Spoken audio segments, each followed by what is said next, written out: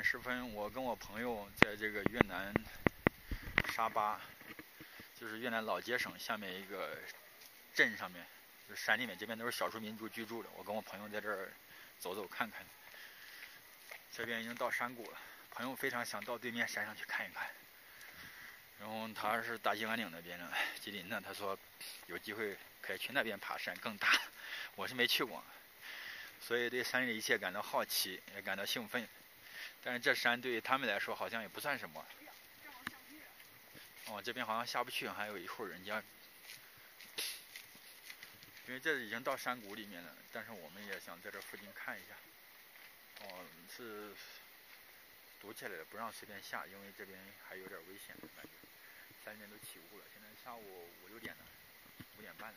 我们刚才走了那条路下不去，然后被一家户人家的栅栏拦到了。我们现在往这边走，看着这边云雾缭绕的，好像这个什么小的医院，不知道能不能往里面进。然后想去下面看一下来，往这边走来了。我们想看看这边能不能下去，在山里面比较好，看着比较好一点，因为它周边都是。所有住户你把它拦起来了，不能往下面下。现在也不知道能不能下去，只能在这站着看一下吧。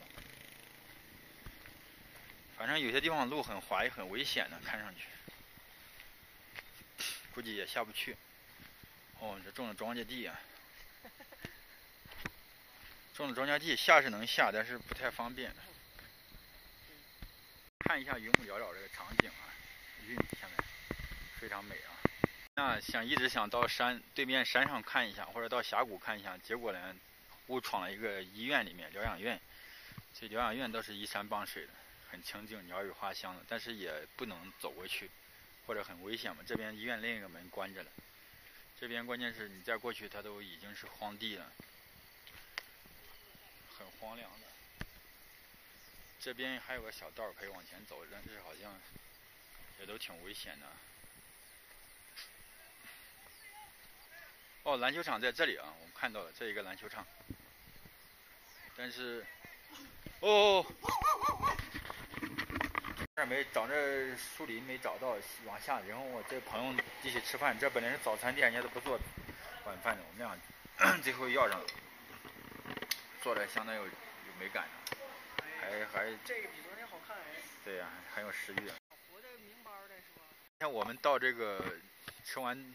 东西，然后走到这儿散一下步，这就回去了。这是这个，就这后山住，这个篮球场了，还山里面的孩子也挺幸福的。后面云雾缭绕的，这傍晚时分了，都有点冷，晚上不用开空调。住的阳台这里，民宿的房间还是挺好。这边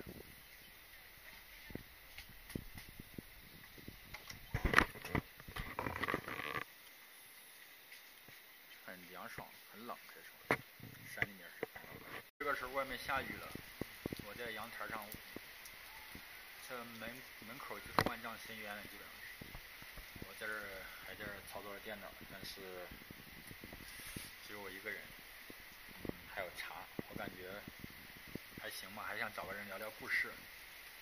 下雨了都已经，是可能明天都要离开这里了。我那个朋友也说要离开这里，但是我都舍不得有点，因为很喜欢这种环境的，他又很。